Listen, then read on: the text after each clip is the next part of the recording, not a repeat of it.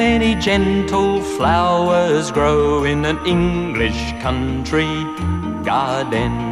I'll tell you now of some of them I know, and those I miss, you'll surely pardon.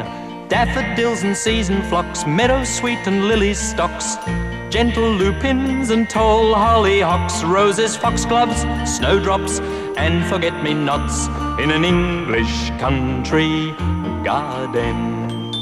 Interlude.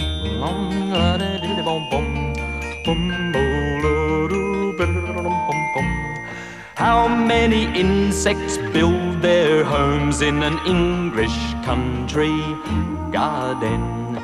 I'll tell you now of some of them I know, and those I miss, I trust you will pardon.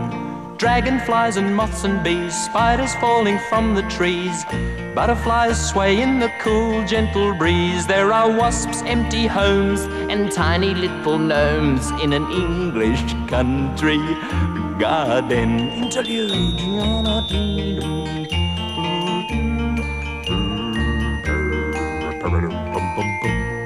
How many songbirds?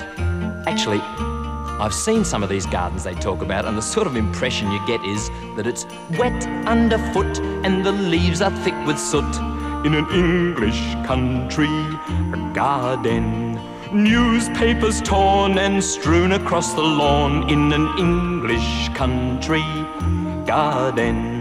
Littered garbage in the yards, little doggies calling cards, one scraggy rosebud peering through the weeds, for they've all down tools while they fill their football pools in an English country garden market.